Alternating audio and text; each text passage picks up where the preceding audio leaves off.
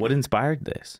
So I went through a divorce um, in 2017 and I was devastated trying to kind of find, you know, I, I was turning 30 and I was just kind of like, what am I going to do now? Like I thought I was going to like be married forever and have kids. And, and one thing I love is traveling. I've loved to travel. And also I love empowering people and making people feel good and special and, and, you know, teaching them their self-worth.